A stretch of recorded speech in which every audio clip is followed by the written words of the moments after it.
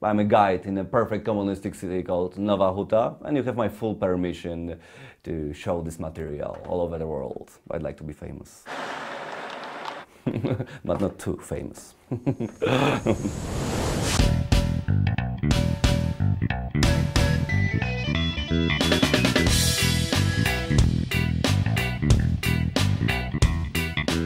Hi, I'm Oh. Maciek. Nice to meet you. Maciek? Maciek, typical Polish name, there's no translation. Okay. Sometimes people ask me, is your name really magic? I answer, no, my tours are magic in this car. The car This is car. magic. Wow. Trabant. It's a good example of what really communism was. Because it's supposed to be a very cheap car for the whole family. Can we all fit in? Mm, we can try, you know. Probably you can fit like a 10, 15 students inside. What engine is this? It's a two-stroke engine. What's so- a two-stroke engine? Engine more like uh, for a lawnmower or motorbike. Duroplast is German invention. So car is very elastic and very light. Well, ready for a ride? Ready to eat, play, love.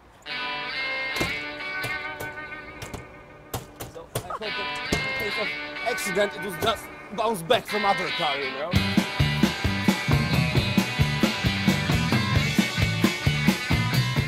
How much does this car cost? in a quite good condition, it probably costs about at least 1,000 euros. I want to buy one.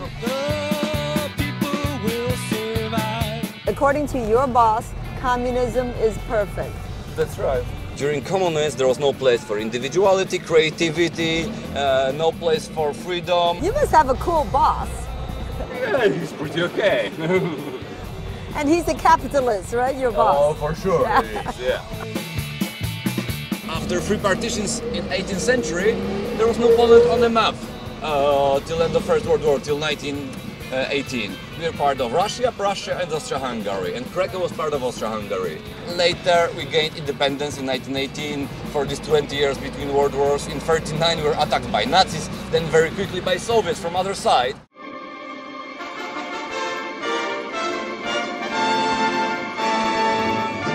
Will give you a short story about Nowa Huta, new steelworks. That's what it means. Nova means new, and Huta means steelworks. Also, you can say Huta of glass, Huta of copper, but here it's steelworks. It was built after Second World War as Stalin's gift, symbol of uh, Polish-Russian friendship. Well, Stalin wanted to build somewhere in Poland huge, perfect communistic city, just for workers, just for working class.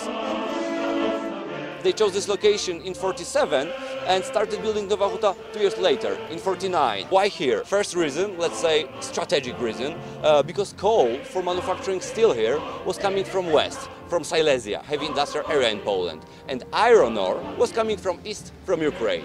Also there was a source of water like Vistula River, so that was the main reason.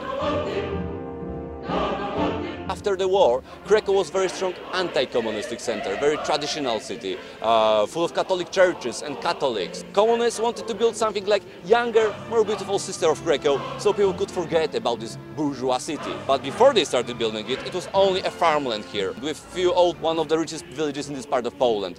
Communistic propaganda created totally different image of this place. That people were living here in the poverty, surrounded by black forest, living almost like monkeys. What's funny, at the beginning they wanted to give the city a different name, name of one of the villages, but it's Mogiła. And Mogiła means a grave, a burial site, so it's not a nice name for perfect domestic city. Nowa huta, osiedla, blokowiska, od środowiska Zobaczcie, dzielnica się zapętla, się zaciska, co oświetla Ulice i boiska, co naciska, co ratuje, to na dyskach informuje, tak właśnie Nowa Huta was built as a godless city, city without any churches. It's supposed to be a first godless city built from uh, scratch in Europe, because religion for communists was just a stupid fantasy. Magic here was seven when communism fell apart. And he's given us the capitalist tour. That's right. Behind us, you can see main entrance to the factory, to the steelworks. Huge factory. It's hard to imagine, but there is a 1,000 hectares area behind the fence. It's about 2,500 acres, so quite a lot. So the communists built this? Yes, communists building. Yeah. Here you can see a huge sign telling us it's Tadeusz Sędzimir Steelworks. Until 1990 it was Lenin Steelworks. Now it's a private property. On both sides you can see administration building, Vatican building, no church here, but two buildings more beautiful than Vatican itself, another slap in Catholic's face. uh, two administration buildings. Factory uses only the one on the left for their offices, and the one on the right is for rental. Deutsche Bank is there. Germans started taking over again quietly.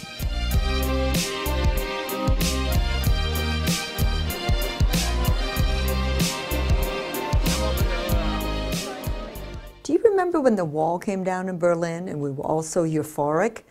It started here. It started in Poland.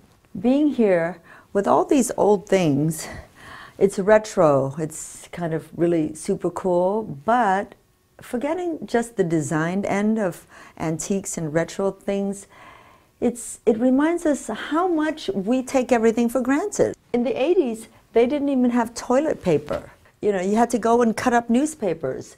There was no flour, there was no sugar, there was no meat. You stood in line for everything. And now we get upset because our gadget isn't fast enough.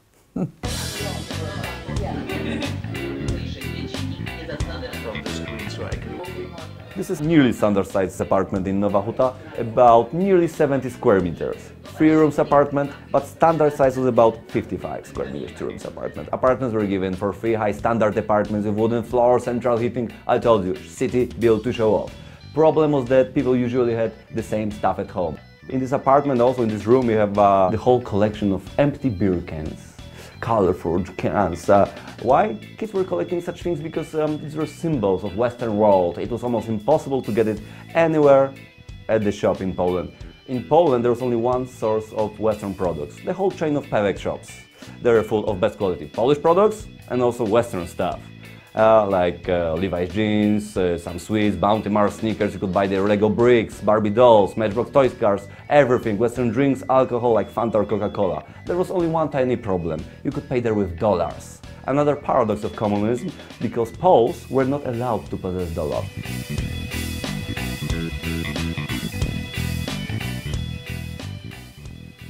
Look at this vacuum cleaner, it has a very unique shape shape of a bomb or, or, or a bullet or a rocket. Uh, why? Because they used uh, the same form at the factory in Russia for manufacturing uh, bombs and vacuum cleaners. Explanation is very simple. It was just too expensive to create brand new production line, that's why I use the same form.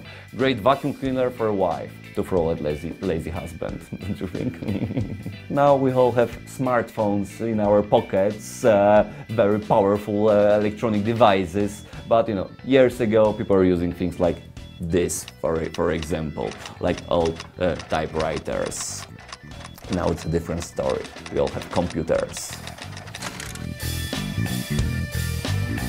I have to, I have to drive to Casserole.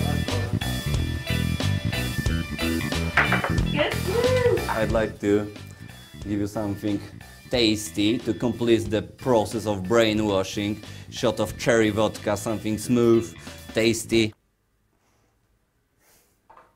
Whoa! I love Poland.